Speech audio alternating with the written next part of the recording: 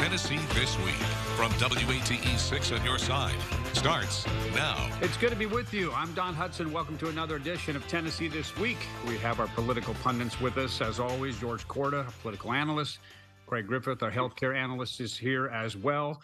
Um, we want to get into special session because what would the show be without that? We've been talking about it, I think, four or five straight weeks. And now we actually have some real meat that we can talk about. But we're going to push that aside for a moment, talk about the Knoxville elections, the races, uh, what races are still going to happen in the general election in November. But we want to start where the election is already over with that 50% plus one rule. Mayor Indya Kincannon won with 58% of the vote. Jeff Tallman uh, was the closest challenger at 29%. So, questions what do you think she plans to do? Obviously, she has the support of people in Knoxville because she just won with that election. What will she do? What will be her agenda for the next four years? Does she have any type of mandate? Well, it depends on what her yes. it depends on what her ambitions are. If her ambitions are higher than mayor of Knoxville, then she's got to be a little careful about going with what I think are her tendencies and going too far to the left. When she first took office, she kind of flew that progressive flag pretty often, and it, it, it didn't turn out to to her benefit or to the cities. So she drew it back in a good bit after some comment about that. And if she wants to go beyond city office, what she'd run for, I don't I don't know. But if she does, then she's going to have to not lurch way over to the left and she's going to have to be careful about just how progressive she wants to be. But the reality is when you get elected mayor, the chances of you losing in your reelection are pretty darn minimal because very few people want to spend the money, the time, and the effort to go up against an incumbent. And most of the people who you would hope would run for political office or would or you think would be good at it, they don't want to go through what you have to go through to do it. So that's where we are. Greg?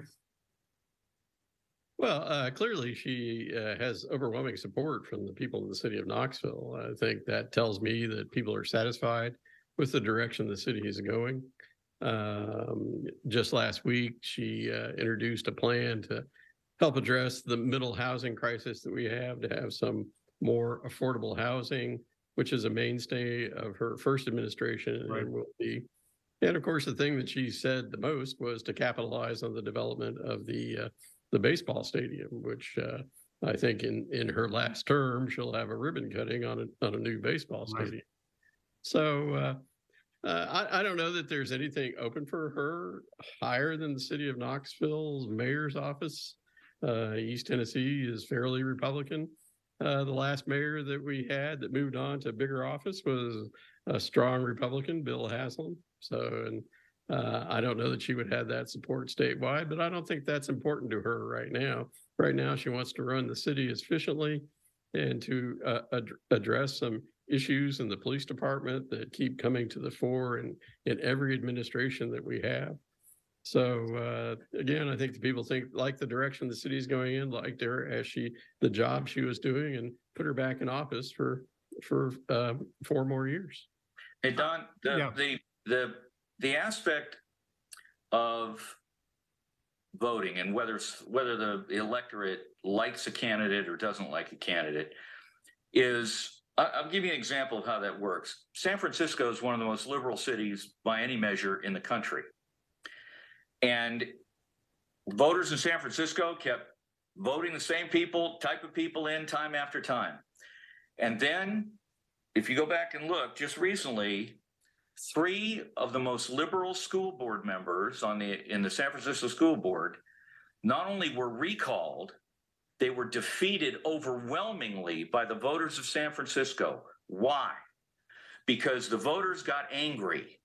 Because while they wanted their kids to be educated while COVID was going on, the, the school board right. out in San Francisco was worried about renaming schools to be politically correct and some other things along those lines. And the people got fed up.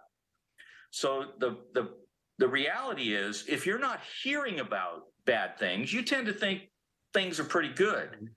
But if you turn and call attention to yourself in a way that, for example, the San Francisco school board members did, you're going to get you're going to get a lot of public backlash. The same way, well, we're going to talk about Governor Sundquist here shortly. Yeah, well, well, and I'm going to say she did focus on public safety, as Craig mentioned. She did focus on affordable housing uh, and growing jobs, and it seems like that's that's where she's come out and said already that that's going to still be her focus. Uh, I'm assuming that you would think those are the, that's the right track to be on because those are true needs in the city. You know, to if have that is, she'll be she'll be safe. She'll be on safe ground. Uh, is that? I, is, I don't see any I don't see any stirrings for a recall election in Knoxville. So I'm not suggesting that, there is, that, Craig. That that can happen, you know, but I think it's unlikely, and she'll see. Craig, I'm not I'm not suggesting there's going to be a recall. What I'm suggesting is if an if elected officials believe themselves, and I'm not saying Kincannon is in that position. I'm mm-hmm. saying what motivates voters. If if elected officials believe themselves to be inviolate that they're they're they're going to be safe no matter what they do. That endangers the elected officials in terms of their positions. That's all I'm saying. I'm not suggesting well, Kincannon is going to be right. recalled. Please don't right, misunderstand me. Yeah, it was just it wasn't just a general comment. It's fine. I wanted one more thing on that particular race. Do you think that to to really do some of these signature things, will there be any talk of a, a possible tax increase? or even maybe talk about it. They, they, they had a tax re- increase two years ago. I think that's, that would be the end of, uh, the, the mayor Kincannon calling for a tax increase. So, uh, I, I don't think you could get it through the people in, in, uh, on city council at this point in time. Right. And like you, like you said, you got you got that stadium and all the things that are going to come around that. So that's that's definitely a good thing. Municipal judge uh, race is going to move on to November because that same that same rule of 50 plus one didn't happen. Incumbent John Rosson, been judged for more than 30 years, 38%. Tyler Caviness, former public defender, now in private practice, 36%. So pretty much neck and neck in there. Uh, this is truly one of those incumbent, experience, longtime serving versus the new guy. Where do you see this race going uh, from here?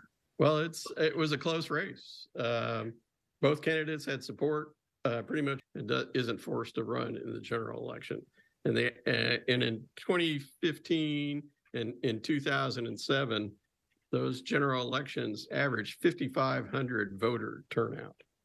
So it's going to be now, it's going to be up to each one of those candidates to, as they say, GOTV, get out their vote. They'll have to get their base out because they aren't going to be able to rely on a draw of the mayor's race in in this particular election. So it's going to, they'll have to work hard to get people to go to the polls and they'll have to work hard in the areas that they identified in the primary results uh, where they weren't very strong.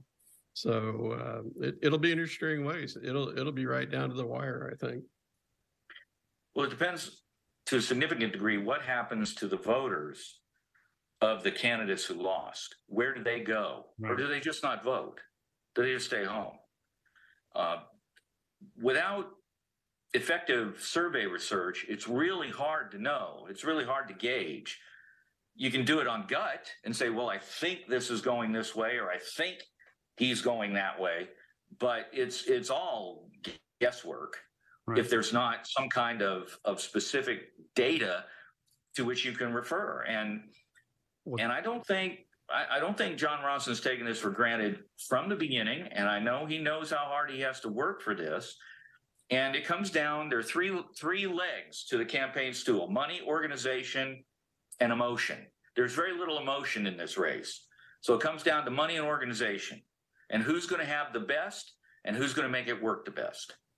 And, and 25% of the uh, other voters, of course, voted for the other. Uh, talking There'll be a lot of shoe leather, shoe leather campaigning going on in yeah. this race.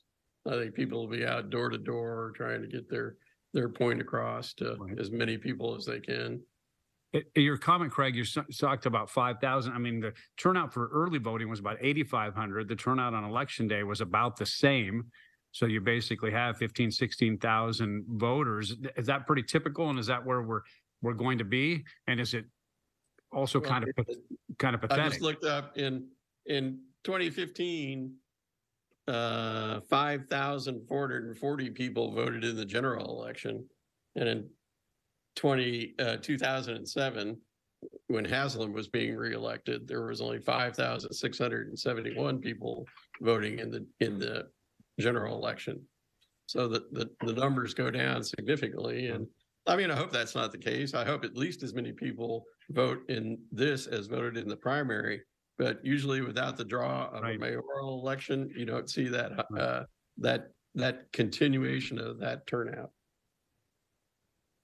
And to your point, George, without a whole lot, or I, without a whole lot of uh, emotion, yeah, you're not going to get a whole lot of numbers. I guess that's just how the way it Yeah, works. emotion emotion can emotion can overcome organization and money. Right. Possibly for a short period of time. But those two things are are really are really the drivers and when there is no emotional component, when there's no compelling negative because people typically need a compelling negative to want to to want to turn out that people like voting against somebody more than they like voting for somebody typically. Well, there was no lack of emotion at the special session. So what we're going to do is we're going to take a break. When we come back, we will uh, dissect the special uh, uh, special session. We'll be right back. Welcome back to Tennessee this week. As we mentioned, we're going to talk about the special session. Governor Lee was in Knoxville on Wednesday, visiting Pellissippi State, learning about the community college's technology, motorsports, uh, race car. He even put on a helmet and he drove that race car around. I don't know if you saw that video, but uh, I didn't think he was going to fit in that little car, but he looked great. Winded that thing up and off he went.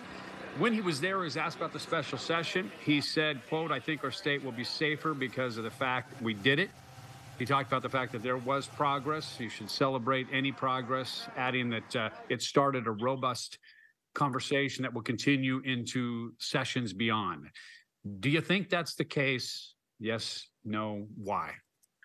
Well, I, Well, well, I think could have gotten in the, that the- sports car and, and tried to track down some state legislatures, legislators to try to get them, you know, to come around to his plan. But, but I think it was a fantastic waste of taxpayer money. Uh, that three or four hundred thousand dollars they spent, they, they should pass a law requiring those legislators to to donate that money to their favorite charity. Uh, it was a black eye for the governor. Uh, he showed absolutely no leadership after calling for this session it was a black eye for the Republican supermajority and their efforts to uh, uh, prevent demonstrations. I think it was probably a black eye for uh, Speaker Sexton and his aspirations to become the next governor. Uh, it's a long time away. People will forget a lot, but I don't know that he did anything for his campaign. And it'll be interesting to me to see if any of those covenant parents in uh, Williamson County decide to run for office. They were quite mad about the results of this. Uh, they saw what how uh, the sausage was made on Capitol Hill, and will they turn that anger into actually running for office, or will they just do lobbying and advocacy and not really change the dynamics in, inside the state capitol? well, it was uh, it was good for the governor that the session ended because I'm I'm pretty sure if it had gone on any longer, his face would have wound up on a milk carton. Have you seen this man? Because he did a disappearing act that was just stunning. I mean, really, I was trying to figure out while this was going on. He has advisors and, and himself, and somehow they thought it was a really good idea to call a special session and outline all sorts of things that were ultimately weren't part of the call for the special session. And once the special session happened, uh, he he did a better job than Houdini of disappearing. He was must have been in an undisclosed location somewhere.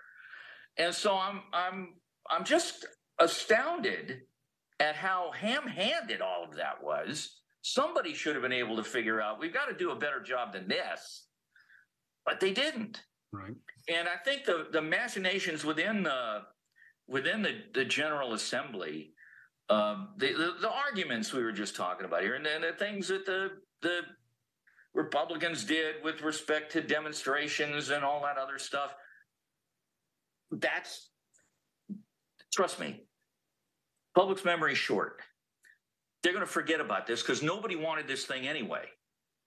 I mean, there were people who wanted it, but the but but Tennesseans didn't want their legislature coming up with a whole bunch of new laws that would not have solved the problem. Right. You can do something, but that doesn't mean you're solving the problem. And so I, I, think the, the whole thing was an utter waste of time, but you don't know it's an utter waste of time until you get through it but the, just I know that you guys know, just in case people who don't, the things that did go through that requiring TBI to report more on human trafficking, uh, two, providing free gun locks, three, requiring courts to get the crime numbers and information to TBI within 72 hours, and then there was appropriation about $100 million, 50 million in grants for mental health agencies, 30 million for school safety grants. Um, as much as we just said, the governor may have not been around. Uh, can there be anything taken from this to say that it was successful while being overshadowed by all the chaos at the Capitol? In, well, for in, heaven's sakes, they, there's the Department of Safety already hands out free gun locks. Right. You know, uh, they're already required to do human trafficking reports. Uh, the deadline timeline in, in this law is a little faster, but it's still things that were already being done.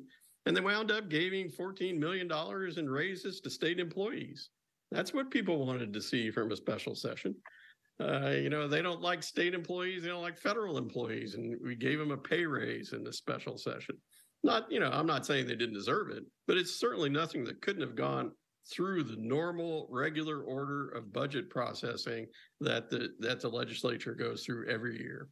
And, and just on the topic of what was happening down there, uh, is is is what happened basically the uh, the Republicans, uh, Speaker Sexton, the way that they approached everything. While the people who were there were clearly vocal about wanting some type of gun law being passed, are they aware that there are more Tennesseans on the side of, say, the Second Amendment and don't support red flag laws, or is it just them uh, and, and and they're not thinking about the the voters, or they or is that the attitude? They say, hey, the most vocal group is going to get the attention, but that's not what the majority wants, or is it just them acting how well, they want to act. Government and politicians, you have to you have to think of them as an as an organism. And the organism has two functions, like any organism, two basic functions survival and reproduction. In this case, it means being in office and staying in office. That's whether it's a bureaucracy or elected body, those are kind of the immediate individual priorities. And if they thought they were hurting themselves, if they thought they were endangering themselves with with by putting just this legislation forward, they'd have done something different. But they don't think they are.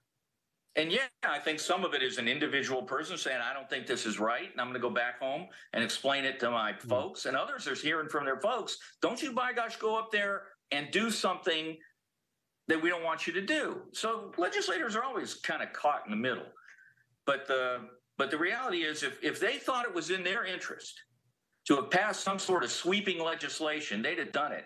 And furthermore, I don't know that it's a state's business to be handing out free gun locks. I don't know. That's the, that's a, a taxpayer responsibility. But we're doing it, so it's it's happening. But everybody wants to see the back end of this special session and to see it in the rearview mirror just as fast as they can. Greg, any comment well, the Vanderbilt, that? The Vanderbilt poll shows that the nearly three quarters of Tennesseans want a red flag law. Uh, that's that's what a poll says, and you know, as George says, you have to translate that into per- political pressure, which is why I brought up the issue of will any of these people that have been directly affected by gun violence yeah. decide it's time to run, and that's when they start running and making issues out of these things then then you may see a different conversation. All right, we'll uh, wrap up our special session conversation. We'll take a break. and We'll be right back with more. And welcome back to the final segment of Tennessee this week. Former Governor Don Sundquist passing away, uh, Republican, twice elected governor of the state, also served in Congress for more than a decade. Um, by the way, passed away following surgery and a short illness at the age of 87. A couple of questions, and both you can respond. His legacy and what do politicians uh, learn from his time in office and, and his decisions as well? And we'll, we'll start uh, with Craig. Well, I, I had met uh, Governor Sundquist on a number of occasions, and he was a, a fine individual and uh, served his country and his in his state well. Uh, but I think he'll be permanently remembered. His legacy is proposing a state income tax, probably the first Republican ever to utter those words out of out of their mouth in Nashville. And once he did that, there was chaos at the Capitol again. There was uh, caravans of cars going around uh, the Capitol building, honking their horn, saying no income tax. And in the end, what the state legislature did was once again uh, uh, increase the state's sales tax, the most regressive form of taxation that we have. And that's the way they handled their budget crisis. Also, made some strange predictions and budget proje- projections to make sure everything was balanced. But unfortunately for Governor Sundquist, that's his legacy out there as, as someone who proposed a, a state income tax. Well, yeah. I was, I remember once I was in Washington and I was, had gone by his office. Actually, he, he kind of, he saw me, he waved me over and he, he wanted to talk to me about something. So we went out on the, the landing and we talked for a bit. And that's the first time we'd ever really talked at any length. And I, I remember thinking, this is, this is really a, deep thinking guy based on some of the questions you're asking me and some of the some of the things he was he was wanting to explore. And the, i had a few times to be able to spend a little time with him and i always found him pleasant and engaging and and he did do some reasonably important things for the state. For example we were talking about it before the show started in welfare reform putting some requirements on people before they to enable them to keep getting taxpayer supported uh, welfare payments. And and some other issues that were were pretty significant but the problem he had with the income tax was he campaigned against it repeatedly. Even when he ran for reelection for a second term he was campaigning against the income tax. And then after he got elected very shortly afterwards he came out not only full force for an income tax he came out full force for an income tax. And essentially, if you didn't agree with him, there was something wrong with you. And a lot of people didn't react well to that.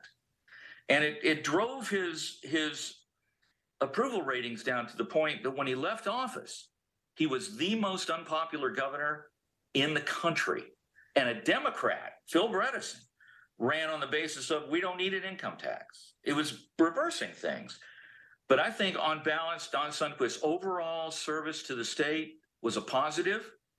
He was a caring and essentially effective guy in that position, but he will always be remembered as the Republican who not only championed an income tax, he completely reversed himself to champion that income tax. And I, I wonder how many times he probably wishes maybe he hadn't done that or had wished he hadn't done that. Are we better off without an income tax? Darn right we are.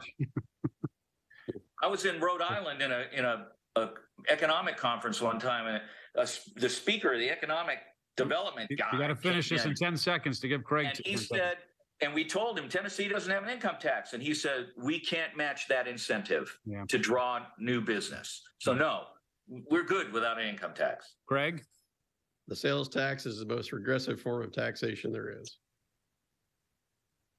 Does that mean you're for an income tax? I'm saying for income tax or not? I, I think we are for a, a, more fair tax system, yes. So you're for an income tax? Yeah, if it's a more fair taxing system.